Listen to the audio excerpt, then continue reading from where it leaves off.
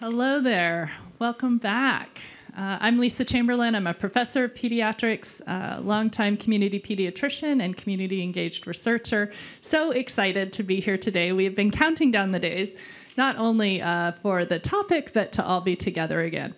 Uh, so, welcome back now to our community engaged research session part two. Um, our next presenter is a national leader in public health and in the application of evidence based research as it pertains to health policy. Please allow me to introduce Dr. Alonzo Plough, who is the Vice President of Research, Evaluation Learning, and the Chief Science Officer at the Robert Wood Johnson Foundation. Dr. Plough. Thank you. Okay. Great. I've heard this is the right place to stand for the. Okay. Because I was worrying, I kind of wander when I talk. If I was up on the stage, I, I was going to wander off. So, excellent to be here. Um, really happy to see the work that you're doing had a chance to spend uh, time at dinner and in the afternoon with some of the junior investigators. So again, so so excited about the path that you are on here at Stanford, and particularly the work of the institute. So in this like really too long title um, uh, to this slide, uh, the reason it's long is, and I think this is really following from everything that came before me, we, um, if we are going to address the kind of structural problems that we're talking about, it requires a deep reconsideration and invest, re, re, re-look at our way, way we think about data, research methodologies and really build in, and not just as, as, an aside, but as an intrinsic part, community engagement which I will redundantly keep referring to as community power, and I'll specify what I mean by that, uh, as we kind of re reconstruct our approach to research to address these problems that we all recognize. Um, if they would have been solved by some of our conventional academic disciplinary bound problems, they would have been solved by now. But because they have not been, I think that's why it is incumbent on us to think about these changes.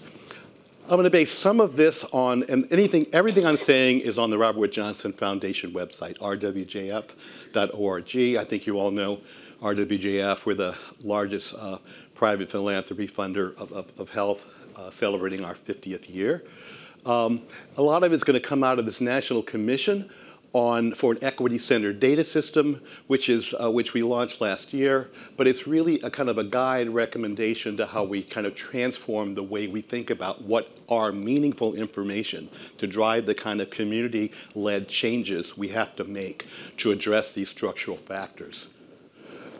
I'm going to start out, and I'm glad um, the framing of racism now with the previous presentations, uh, the, the, ice has been broken on the need to talk about this very directly, and particularly in the way Eliseo talked about it as structural racism. And, that, and when I talk about particularly what we're doing at Robert Johnson Foundation and the approaches we're taking, it is about structural racism.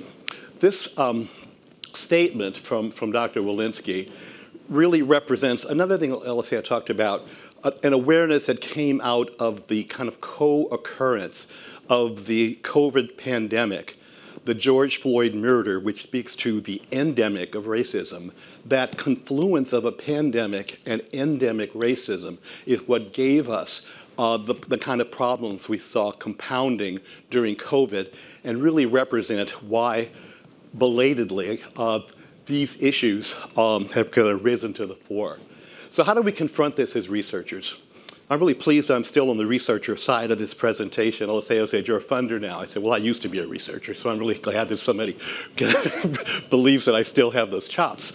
Um, but uh, what, what, what is, that's a real call to action. All of what you've heard uh, from Sensi, who brilliantly linked the experiential to, to, the, to the statistical, to Eliseo, who gave us all of the data we needed to see on the evidence base that disparities are an issue. What do we have to do as researchers? What do we have to do? Um, I always talk about examining our methodological canons. I use this comes from religion, right? You don't question these things, right? You don't, but we have to question them. We have to question those things that we take for granted about what we call excellent methodology and, and put them to the test around whether they help us resolve the kind of issues we've been talking about today. So for us at the foundation, it's been going beyond social determinants to what are these structural factors, other marginalizing factors, factors of, of, of identity that are unfair and create unfair outcomes for people. Um, how do you interrogate these conventional approaches to data construction and definition? It's not that we throw out all of that what we're trained to do, but how do we look at it and find out what is that right transdisciplinary mix that allows us to address the kinds of problems we've been talking about today and that the Institute is trying to look at. I will come back and forth on meaningful and actionable information, information that drives of awareness and action. Why do we do research? Yeah, we do it for publication. We do it to build knowledge. But we actually do it to change systems, to improve outcomes, which can only be influenced by systems change. So I'm going to really be focusing on systems change, population health, and, and the belief that the innovation and broader use of community engaged research is going to be uh, essential to that. Again, not as some stand aside piece, but an intrinsic part where when all of you younger investigators are, are mid-career, uh, that'll just be part of what you think about as research. Any good research has a deep community and, and, and partner engaged component. So I'm going to talk a little bit about the recommendation of the National Commission. I will suggest you look uh, on our website to look at more. I'm going to talk about how community partnered knowledge development, which is how we talk about at the foundation, community partnered knowledge development improves research and our practice. I'm a public health practitioner, short, very, very short time philanthropist, very, very long time um, public health running Seattle King County, Los Angeles, Boston Public Health Departments. So much of what I'm presenting today is from very on the ground work that from, from that longer part of my career. Some examples of what we've been doing at RWJF around partnered uh, knowledge building and learning and some future directions. But again, you can see all of this on our website.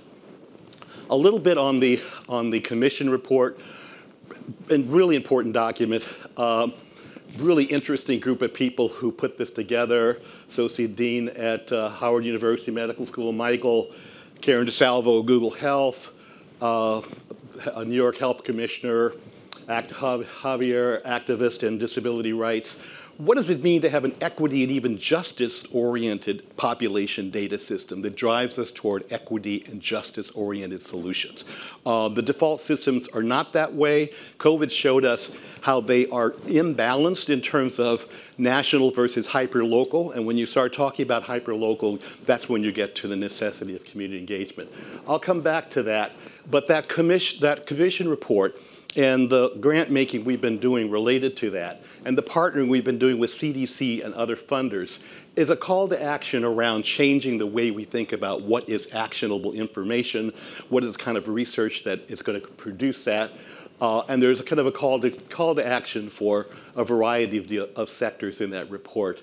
Um, and I'm going to focus a little bit more on academic and research uh, here. Many, many recommendations but this number three that came out of this one, the commission was chaired by Gail Christopher, formerly of the Kellogg Foundation, um, and um, ensuring that public health measurement, I'm indicators here, uh, captures and addresses structural racism and other inequalities. So it's this really, the, the, the recommendations invest in community-led, community-directed uh, measures understanding of these structural factors, upstream causes of inequity, how do we understand this better? How do we understand how these systems really reinforce segregation, discrimination, and exclusion? What does it mean for researchers to deal with this? Um, this is a movement from this is in, in the foundation's research, and I hope uh, I know some of you are already funded by us. Um, we are trying to work on those social determinants from a health perspective. Um, so, so a lot of what we're talking about is if the social determinants are, you know, pick your interpretation of the pie chart, 80%, 90% of what drives health outcomes, how do we as health-informed people work on those social determinants in community partnered context to try to make a difference? What does that mean for researchers? Maybe we can talk about that in the Q&A. Is that where I want to be? Yeah, okay. So let me talk a little bit about, a little about community-based participatory research. But I, I'm a little nervous kind of going before you since you are, uh, uh, you, you, know, I've learned what I know from you and Mary, but, it, uh, but you know, how is community-based history research really changing? Uh, and I think, you know, the field, and we use this approach a lot at the Found, it's about knowledge generation, and it's about generating a kind of actionable knowledge. It just does not come out of our default clinical epidemiologic research. I wasn't trained in anything as a very quantitative uh, epidemiolo epidemiologist doing mathematical models of end-stage renal disease about this.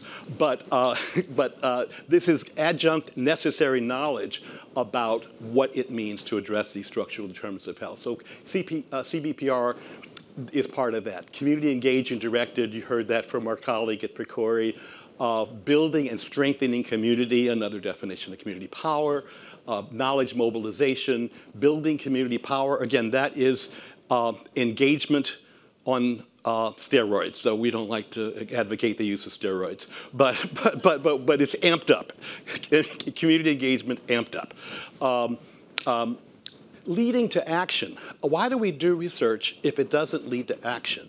Like all of you, I like publishing. I really like seeing my uh, uh, being part of things in high impact journals. But you want to have action based on that to address the systemic factors that lead to the problems that we're trying to work on. So CBPR is really important in, in a way of thinking about joint collaborative, uh, authentic engaged work, uh, that, that helps us understand how to address these issues. Better knowledge for better action, for better systemic change. And, and when you listen to communities, and we're talking a lot about MCH here, we learned a lot uh, while over the last couple of years uh, on a large ongoing initiative, which started out as um, maternal um, morbid, mor morbidity and mortality gaps. But our community partners said the better way to think about this is birth justice. Birth justice. When you frame it as birth justice, you open up the inquiry to all of those factors, culture, history, the ones that uh, Eliseo had on his slide, that have got to be admissible to the research process because those are the leverage points for the changes we want to make. So we talk about community power building versus engagement. And you will see this uh, as, as a movement um, that is, is, I think, transforming the way we have thought about community-based participatory research uh, traditionally. So this shift to, again, community-led research uh, initiated and held outside of our traditional academic boundaries in, in collaboration with us uh, as academics, but we really need uh, to support a kind of CBPR that allows an a autonomy and uh, space for uh, community folks to define uh, the problematic. Again, birth justice, which, which is an affirmative path versus maternal and child health morbidity, morbidity which is a marginalizing uh, uh, construct. Um, so uh, very, language is important. Busy chart, uh, I'll share if it's okay with the um, organizers, you can share my slides with anybody here, so you don't have to read all of this one. But when you think about an explore, exploratory framework for community-led research, I mean, these are some of the things that, that seem to be really important. Uh, I'm sure Nina will talk about more about this, but you know, centering on the people most impacted, people who experience the problems. Uh, language justice principles throughout the project. Uh, um, the communities that we work with, and you know this, are, have experienced all kinds of multi-generational trauma related to all the factors Eliseo talked about. Uh, uh, uh, redlining, uh, whose neighborhoods did interstate highways go through? Why was it my neighborhood in Kansas City that the interstate highway bifurcated the black community? These are, these are non-random events that have historical and multiplier implications across generations. So you recognize that in trauma-informed dialogue uh, acknowledging and addressing that history, co-creation agreements. We talked a lot uh, yesterday at the afternoon discussion with uh, some of the younger investigators, the, how you develop these governing things, equity frame, all of that. So this is very much how we see that changing. So this shift to racial justice, absolutely critical. Um, funders are changing. I think if you had talked to uh, Eliseo and me and our PCORI colleague five years ago, I don't think we would have said the same things we said today. Uh, I think there is a change in what we're doing, a lot of, of, of change, particularly on the philanthropic side. Uh, I mentioned a couple of different funding networks, the Transforming Evidence Funders Network, uh, the Funders Learning Group for Action. I love it. It's called the Nerd Herd. Um, you know, you might want to join the Nerd Herd. Um, but again, rethinking how we can get our methodologies to be uh, more aligned with the objectives we're trying to do. And Pew and WT Grant Foundation, and if anything we're trying to do at RWJF is be a catalyst, a good, positive, disruptive catalyst for this change in the way we do the research. Uh, I'm getting toward the end. I'm looking at the clock. Uh, we have to really uh, look at these canons. Uh, academia cannot be the exclusive domain where knowledge is formalized and validated. We have an entire agenda that we call Working and Transforming Academic Journals. We have done tremendous work with health affairs, which is a different health affairs than it was uh, in terms of the what they consider still rigorous, still highly impact. You, there's no trade-offs between this kind of research and rigor. There's just better understanding to influence the problems we want to under, understand. We're working with Academic Pediatrics uh, Journal on a similar path, American Journal of Public Health. If we don't uh, change the journals, your great community-based participatory research won't get published, okay? Because you, right, you know that. Uh, um, underrepresented researchers need to be supported through mentorship, and, and that, that gets to the EDI mandates within uh, our, our, our, programs. And again, non-traditional forms should be, uh, research should be funded. I'll just quickly run through this. With CDC, we're doing a lot of this work around the country uh, around, around equitable data and community-based participation. This one I'll talk to a little bit more. We are working with a network of virtually all of the HBCUs that will be in the Gulf states around community uh, partnered research to better connect uh, those researchers, communities working on environmental justice um, uh, throughout all the Gulf states. That's in collaboration with the National Academies program that has the big Gulf oil settlement dollars. So uh, that's, that's a 30-year uh, activity across the Gulf South. This application's over. This is our modern, uh, the modernized anti-racist data ecosystem model. Uh, we do this in partnership with the De Beaumont Foundation.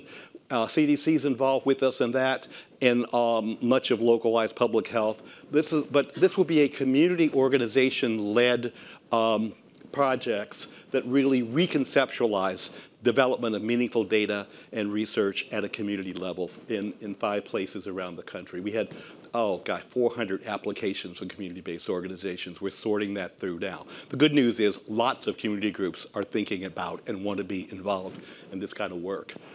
Really um, over time, but uh, um, since I'm a funder, I know you want to know what we're funding. So Health Equity Scholars for Action, under underrepresented young early career investigators, 15 will be selected every year connected with all of our research programs, given uh, uh, independent research funding, uh, major piece that we're trying to do. Uh, transforming academia for equity. We started with seven schools, public health schools, and the Association of public health schools to create a learning community about what does it mean to change health sciences education uh, in, a, in a more equitable way. So we have working with the schools in a learning community and with their accrediting body to, to make some changes there. And then the Partners for Advancing Health Equity, that's a, uh, a learning, national learning health equity uh, learning collaborative based at uh, Tulane, which is really to help us build this collective field of health equity as funders, researchers, community folks. Uh, I'm, you know, um, myself always told me I ended on a downbeat on my talk, so I've, this is this is my upbeat slide. Uh, that there are there are there a lot of, I mean, if you're, you are, are, doing a lot of community work, there's a lot of good stuff going on.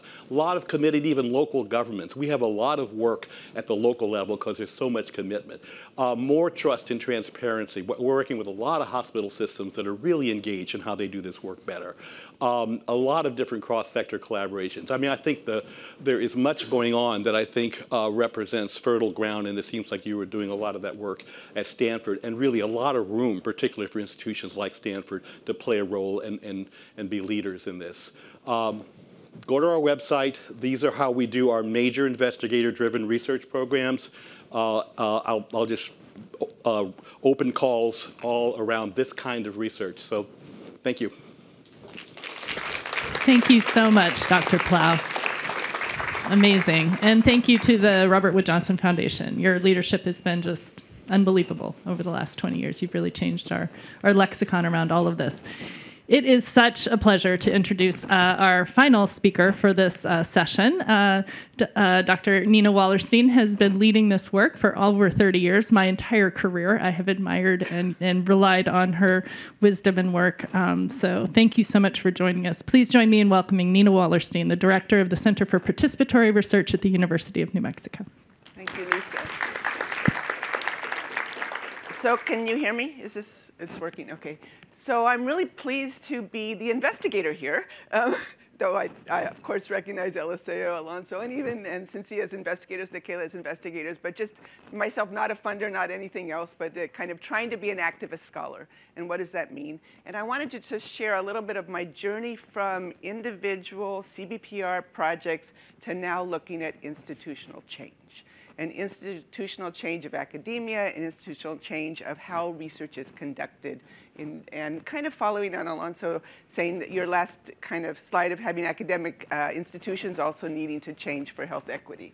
So my journey started in working in tribal research with, and this is one effort I've been working with since probably 20, 25 years, family listening program. It's an intergenerational, this is probably my one MCH credentials that I work with children at late elementary school kids, their parents and elders in co-creating a culturally centered dinner-based program that really came from the cultural and historical knowledge of the tribes with adolescent and then early child, earlier children, um, kind of prevention knowledge where we bred together in a hybrid way a program that could construct together. Now we're expanding, we're getting a lot of other tribal communities looking at us and we're expanding to other D&I efforts. Um, I also wanted to honor a kind of a lot of learning I've had from Latin America. Paulo Freire became a mentor to me in the 70s, actually. I was working in an adult education program in San Jose, California, and then started working on co-creating with the Pan American Health Organization an entire training curriculum on empowerment, health promotion, and it moved into participatory research and health promotion and empowerment.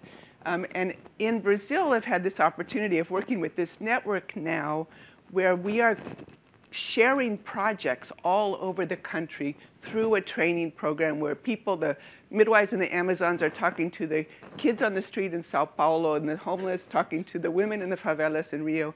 And I'm now trying to reintegrate this test of this network idea through training and co-learning, collaborative learning in New Mexico. So not just that all of my CBPR work that I do academically is just one thing, but how can we make it practical? Bring it down, working with coalitions. I work with health councils in New Mexico, working with promotores and health. Um, um, so I'm trying to kind of always think I guess thank you, Alonzo. I'm always thinking of action, action, action. How do we make this really work? And so uh, this is kind of, we've had a couple years of Zoom, of training in Brazil. I'm going back to Brazil actually in February, but training in Zoom. So this is Google Jamboard trying to bring together a vision from, this is a tribal indigenous leader group in Brazil from leaders all over the country, able to come together through Zoom to kind of construct together their vision of what they wanted to see. So I want to talk to you today about Engage for Equity, which has been this 16, 17 year program research agenda started with NIMHD funding, thank you very much, Eliseo, um, through the NARCH effort of tribal directed research, where then we got a pilot funding to develop a model, do the research into the literature. What is driving community engagement? Trying to bring a science to community engagement. We then got extra funding in, in, stage two to develop the model further, develop measures, test it, and identify ways to measure our partnering so that we could, in fact, see what makes a difference. Not every engagement works. What is it? What are the best practices that need to come? Stage three, we're just at the end of. We refined our instruments. We, we translated them into Spanish. We then have been testing them. We've been able to test and work with 400 federally funded academic research partnerships across the country to, to look at what are the best practices across the country. And then stage four, a PCORI engagement grant working, and I've had the great pleasure of working with Stanford um, and in a collaborative engagement with Stanford, um, Morehouse HBCU in Atlanta, and um, the Fred Hutch University of Washington Cancer Consortium. Very, very different institutions, but together thinking, what do we need to do to change institutions to sustain community, and I'll use Alonzo's words, community-driven research um, rather than community just engaged or community powered research rather than just community engaged research. So of course, I don't know if you've seen this, it's our very busy model. It's to me, in many ways, my, this is my life story in one page, but this is kind of um, where you can see that we try to capture in a dense way the literature around what matters in community engaged research. It really is simply four domains. It says context matters, local, national, regional context, political context, that is then influenced by the partnerships that get created to address the context. Whatever the MCH context is, whether you call it birth justice, you know, in that context, or, or the morbidity, mortalities around um, disparities related to different populations, those contexts matter. But it's really who's going to do the work around it.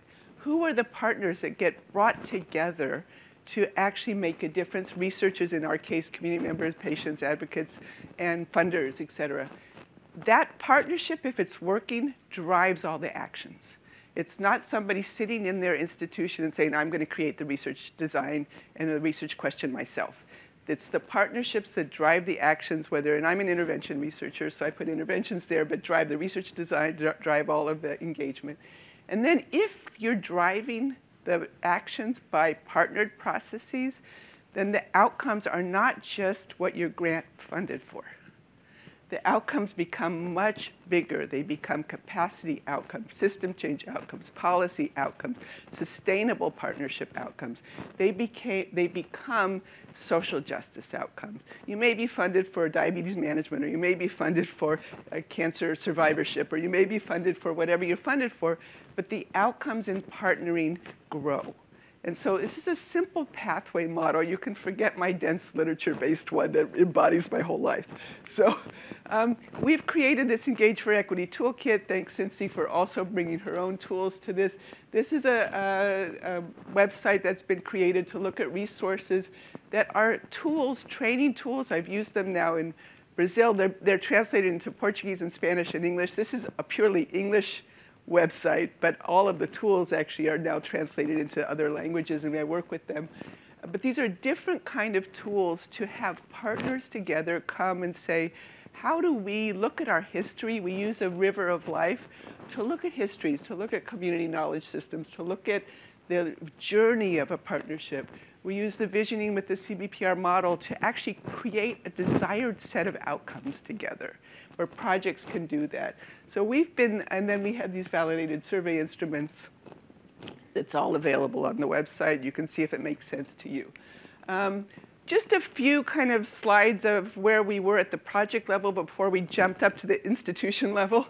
But at the project level, we did identify a set of promising practices or best practices. Obviously, the community, the one in yellow, community engaged in research action.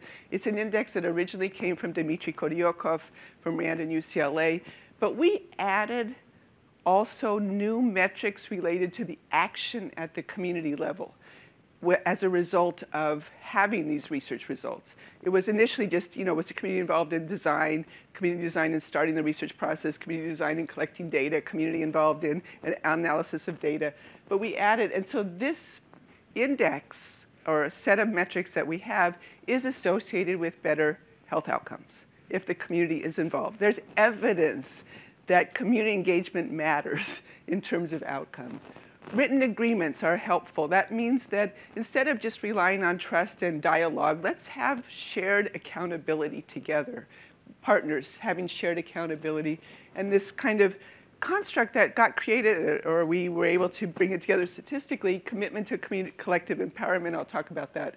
This is what it is. Commitment to collective empowerment brings together four constructs. This is across our 400 partnerships across the country that we share a set of principles, whether they're, you call them CBPR principles or participatory principles, they're shared across the team, that people in the team believe they have influence, decision-making power in making the decisions as a team, it fits with the local knowledge. That's the local histories, knowledge bases. It's not just academic. It fits with the local knowledge of whatever your community is, and that you engage together in collective reflection on equity and on your own processes, evaluation. So together, statistically, we then brought this together and called that, that is commitment to collective empowerment. And you can see in our latest publication that commitment to collective empowerment is a key driving force for outcomes. It matters in terms of the relationships and the synergy of a team. It matters in terms of the community engaged in research actions. And it's also bound or uh, complementary to structural co-governance where the, that is where community partnerships have agreements together. They share resources and they share budget. Big difference, they share budget. That is the proxy for shared power, the shared budget. So all of this leads to then outcomes that again are social justice outcomes, but also outcomes related to the particular health issue of your grant or research process. So we're now really excited that we can say power matters, whether you call it, we called it commitment to collective empowerment, but this is a driving force to uh, successful projects that are community engaged. So despite all of this wonderful work, we said this doesn't matter enough because there's still individual projects cannot do it alone. You have to have these institutions supporting. How do you create the structures within a university that would support people not as individuals but as a commitment to a community? There's obviously ongoing distrust by, in academic health centers by community members. And for our case, we said we haven't really tested the engagement strategies that work to make the changes at the institutional level, which is, you know, I'll just say there's a lot of examples in the structural racism realm of, of institutional racism. Our academic health centers are filled with institutional racism and not serving the communities around us. So then we wanted to begin to move to challenge three and four, where you said that we don't know the interventions that work and how do we make the changes that will also interact with individual CAPs or community academic partnerships. So it's not just changing maybe tenure and promotion mechanisms at a university system. It's also how do the individual, those changes impact then researchers being able to do their work on the ground in the research that they apply for. So we got this initial PCORI engagement grant, as I mentioned. We were going to learn how to conduct an institutional assessment. We tested a whole survey instrument. Thank you, Stanford, for participating with us. And also the feasibility of implementing these, this kind of these, we call it E squared is engage for equity. E squared plus workshops are tools we were able to do with maybe some of you in the room. I know some of you in the room, but maybe others that I don't know. Um, and began to create this co collaborative community of practice with these three institutions that are very, very different. Um, and so what is our approach? We have the coaching of champion teams, workshops. We use da data is critically important for advocacy. We had qualitative data, interviews, focus groups, uh, you know, interviews with leaders, and also focus groups with community partners, focus groups with investigators, focus groups. Um, and we then, and we also did our institution, our quantitative survey, brought that together, and began to create a multi-site community of practice. This is a, just this is one river of life um, that we came together. Again, this is all virtual. We had to do it over Zoom, but it was a lot of fun to realize we could create dialogue over Zoom in a good way with some visual tools that brought it home. It's not just a kind of empty dialogue. So our learnings in many ways that, that, that there's wide variation in each institution in terms of their starting point and there's still a dominance of T1 and T2 funding or the current best, you know, you know, the moonshot of whatever it is, you know, what is it that we're going to do? And it's very hard to move and give highest status to community engaged research. It's, it's just a challenge institutionally. So the external funders are critically important. Thank you, PCORI. Thank you, NIMHD. Thank you, RWJ, to shift. And, and as Alonzo was saying, maybe funders have shifted. Um, you know, and that even though health equity and the structural racism because of the George Floyd murder, murder is more now recognized under COVID, There's so many administrative and financial barriers to doing community engaged research at the institution level. And the fact is that there's a growth in some DEI efforts, especially around training and uh, pipeline, but that's often divorced from community and patient engagement. And we really need it to come together and say it's one and the same thing. And even though institutions believe they are changing, community partners do not believe that. So it's really important to recognize that community partners still experience exclusion. And you know, I know I'm maybe I'm walking into some fine ground here, but you know, just the fact that um, you know, the Stanford Medical Center does not provide access to all Medicaid patients is very much an institutional racist barrier to also doing good research in community engagement where the Stanford is believed to be welcoming all of its populations that live around um, its catchment area. So this is an institutional racism dimension that needs to be somehow addressed, hopefully, by all of you. You get here, you know, it's policies are there not to protect the community, but to protect the university. They have to make sure the community feels that they really want to hear their voices and are not just putting on a show. And they need to give them appropriate compensation for the engagement of their time and their expertise. So one of the things has to do, and I know Stanford has been very good at this, is trying to say, we're going to look at post-award, we're going to look at giving people really good compensation, we're going to see if there's even possibility to change how post-award works so that people, community partners, can actually get advances on, I don't know what you actually are going to end up doing, but this is not just Stanford, it's every academic institution in the country is really having a difficult time creating financial equity with co-researcher partners. It's not, again, just Stanford. We're founded at Morehouse even, which, where they was founded, and the leadership at Morehouse, we interviewed the president of Morehouse who said, equity is in our DNA, it's in our history, it's how we started. But even at Morehouse, they have difficulty fi financing their community partners. It's an administrative barrier that just confronts us all. Um, there's some examples of change in this process, new Office of Patient Engagement at Fred Hutch, incremental institutional changes through IRBs, et cetera. Though there's now effort at the national level to look at maybe changing IRB efforts to say what else does any institution have to do so that I, that would demonstrate benefit to community, not just um, uh, benefit to risk-benefit individual ratios in IRB. A lot of trainings planned, um, expanding to other diverse partners, recognition of the need for long-term commitment. We've all been talking about that. And what is the word where it's being thrown around all around now? Institutional trustworthiness. What does that really mean if you have these administrative and financial barriers that are baked in, you know, institutional racism? So we're now, I'm just going to end with two uh, more slides. We're just ending, we're now, we've worked on this engagement award. We're now applying for the science of engagement. It's the science part of PCORI to test um, our intervention with eight new academic institutions.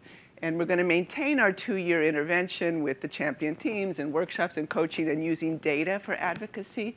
But we're adding in two innovations, which I think is important, also working with actual community projects, research projects, and seeing how they can be influenced with this process, and bringing in much more attention, and it's here Alonzo, even before you said your thing, greater support for community patient agenda setting, for community power, um, where, where we wanted to say, no, how can we support the community partners and patients at these institutions to have separate meetings, separate safe spaces, separate ways to gain their own advocacy and power to begin to be able to influence the institutions as well with very willing champion teams, which also are composed of also community partners. And these are our aims. We're going to work with champion teams, the institutional level changes, and the PCAP, we've named that Patient Community Active Academic Partnerships, also kind of this interface and interaction at a multi-level dynamic. And this is our logic model where the ultimate logic, there's no, uh, as Eliseo said, there's no way to, but at the, at the patient and community engagement experience, which is the, the PCORI outcomes, where we're looking towards enhanced collective empowerment, enhanced community organizational power, and enhanced institutional trustworthiness. Those will be the core outcomes that we're looking for. So I just want to thank you for this opportunity to say, yes, we're trying to move on institutional change. I'm going to hope and continue to work with Stanford over the next years as well. We're going to kind of evolve all of us in an ongoing community practice. I'm talking to Phil Alberti at uh, AAMC because his efforts in trying to create community of practice of kind of co community engaged academic medical centers that are trying to also kind of change institutional practices to actually confront these issues that we all care about and that can support junior investigators to actually do their work in a, in a safer and saner environment. So thank you. Thank you so much.